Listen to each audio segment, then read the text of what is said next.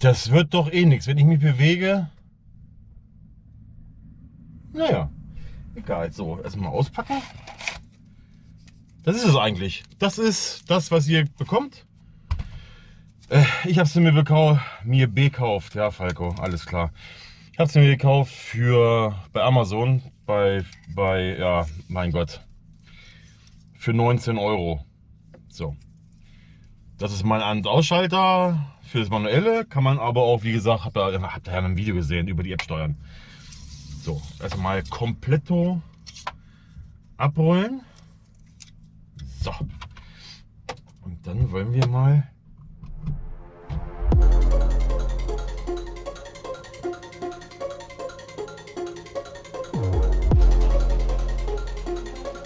Ja, funktioniert. Perfekto. Länge stimmt auch. Sollte jedenfalls stimmen. Ja. Dann äh, machen wir es mal wieder aus. Weil das nervt nämlich ein bisschen beim da oben hinkleben. Ihr habt ja unter meinem äh, Video bezüglich der Kette ziemlich viel gefragt. Wo kommt die ran? Braucht die 12 Volt, 24 Volt? Also Freunde, es gibt die, also die hier weiß ich nicht, ob es die auch mit 12 Volt gibt. Müssen wir mal bei Amazon einfach gucken. Weil USB hat ja 5 Volt. Von daher kommt die in kein Zigarettenanzünderdöschen, sondern einfach in den USB-Anschluss. Und ich weiß natürlich nicht, ob das bei euch im LKW auch so geht. Ob der Dachhimmel auch so ist. Ich sag mal, relativ feiner Stoff, wo das 3M-Band dran hält und wo man es ganz wichtig auch wieder schön easy abziehen kann. Weil beschädigen wollen wir den LKW ja nicht. Und es wird scheiße aussehen, wenn da ne sowas dran ist. So, jetzt ist die Kette ein wenig zu lang. Ihr seht das. Aber ihr seht auch, man kann an diesen Punkten, überall hier, kann man die Kette kürzen. Und das mache ich jetzt hiermit, weil die Kette ist zu lang. Und die, so, Augen zu und durch, zack. ja. So, jetzt hängt sie. Perfekto. Zack, kein Bart mehr. Nein, so, jetzt mache ich noch das 3M-Band. Warte mal, stelle ich mal wieder dahin. Einmal ab, einmal hin, einmal her. Wie war das jetzt gleich nochmal? War, hatte ich die so dran? Nein, ich hatte die so dran. So. Und hier easy diese Kabel. Warte, ich schraube ich mal kurz wieder. Ja, stillhalten. Euch fehlt eine Schraube. So, man kann jetzt wunderbar die Kabel, das Kabelmanagement, sage ich immer so schön, kann man hier wunderbar beim Scania hier so ein bisschen drücken, ein bisschen quetschen, ein bisschen kringeln, ein bisschen kleben, ein bisschen nieten und dann ist das alles weg. Das Kabel wird jetzt verlängert mit dem Kabel. Kikal. Das kommt dann da rein. So. Hm, hängt.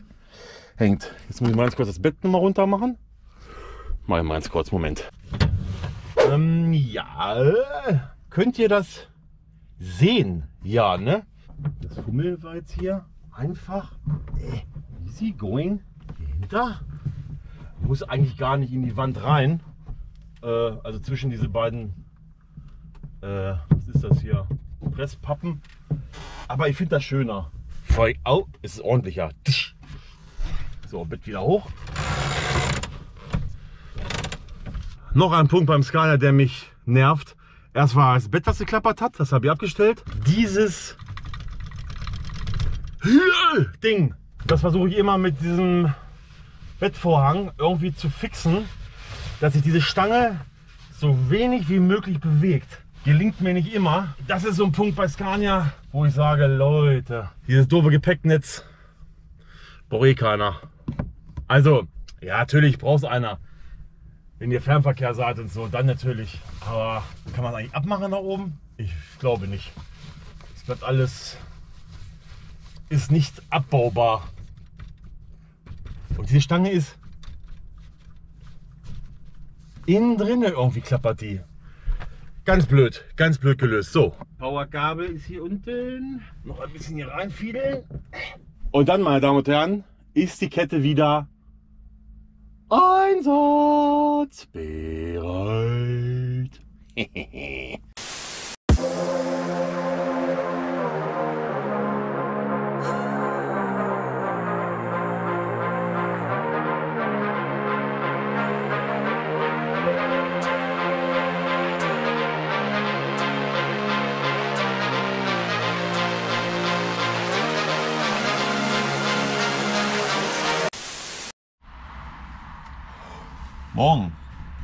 Guten Morgen.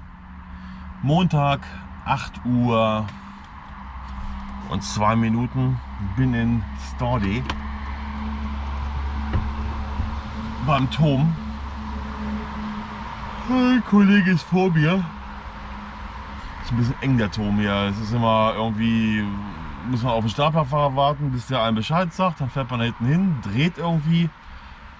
Ich war ja schon mal vor Jahren. Ich dachte erst, das wäre dieser eine, der eine Turm in meinem Video, wo ich das mit, den Eisplatten erklärt habe, wo rechts die ganzen Anhänger standen, aber das ist hier nicht. Ich komme auch das ist hier tatsächlich nicht drauf, welcher Turmmarkt das war, wo ich da war.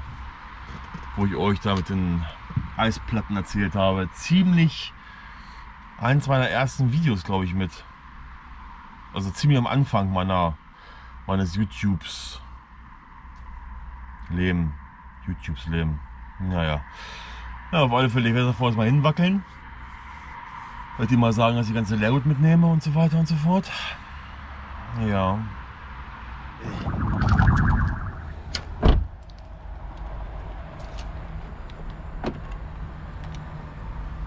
Ja, schönen guten Morgen. Ich habe jetzt auch im Auto äh, Beleuchtung. Ihr wisst, ich bin so ein LED-Fetischist. Ja, wir haben Dienstag 6 Uhr morgen. Morgens. Und ich fahre jetzt gen Süden. Yes.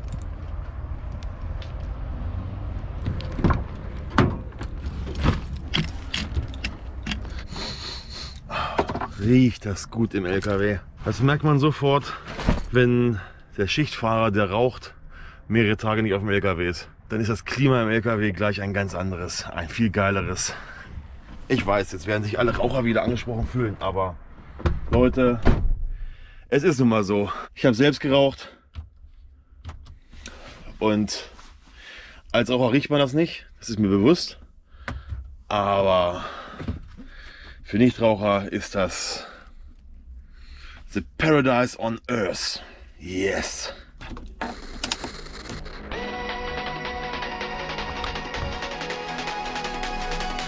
So, alles an, alles bereit. Einmal um LKW gehen und dann erkläre ich euch, was jetzt Phase ist. Weil gestern ein bisschen abrupt beim Turmmarkt und jetzt gibt es einen Cut und ich sitze morgens um 6 Uhr im LKW, fahre in den Süden. Äh, machen wir gleich.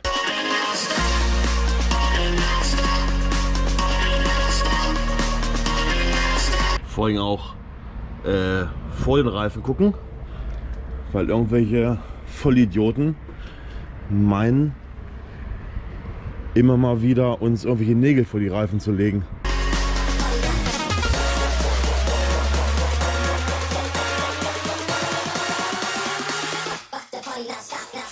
Ja, sieht alles gut aus.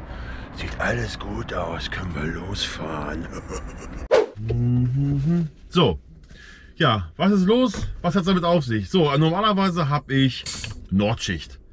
Wie gestern ja auch gesehen, war ich in Stade beim Turmmarkt und dann war ich auf dem Heimweg und habe dann um 11 Uhr mit meinem Disponenten Markus gesprochen, weil ja mein Kollege Urlaub hat, die Woche noch. War es eigentlich so geplant, dass mir entweder, ja, dass mir ein Fernfahrer immer einen Auflieger nach Nordheim vorzieht, ich ihn auslade und wir nach Nordheim fahre, Pause mache und immer so weiter. Außer einen Tag müsste der LKW runter wegen Tanken. Ähm, so hat man es geplant. Jetzt hat sich Montag, sprich gestern, ein anderer Schichtfahrer krank gemeldet.